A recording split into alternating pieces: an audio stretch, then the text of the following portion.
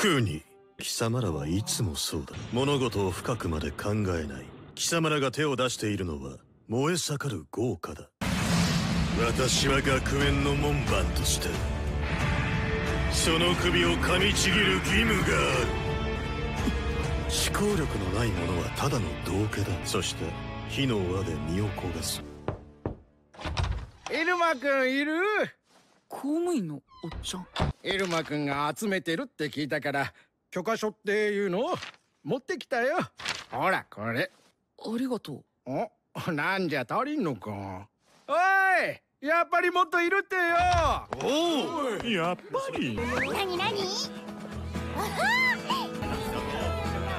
なんか書類がいるんだって。許可書ってこれだよね。ちゃんと全員分あるはずだよ俺たちはイルマくんのファンなんだから。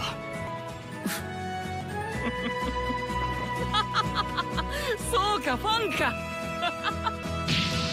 感謝する。おう。さてカルエゴ卿あなたの主張は全て正しい。アブノーマルクラスは確かに道化師のようだ。だがこの一件今日に限ってはこれがバビルスの総意らしい。道化師は愚者だが民衆の心を動かすのだ。興味の勝利だ。揃ったらパンを押してくれるんだろ。ア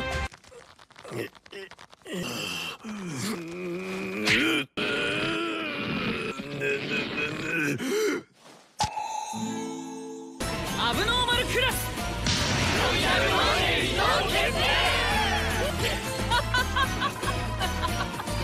問題児のアブノーマル。